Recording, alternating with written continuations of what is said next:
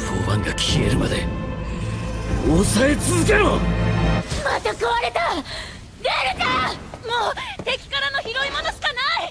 the heroes suffered another significant loss, as during the fight against All for One, Mount Lady ended up receiving a probably fatal blow to her heart. Even with Hawks and Tokoyami nearby, they could do absolutely nothing to contain the blow and save Mount Lady. Will our giant heroine come out of this complicated situation alive?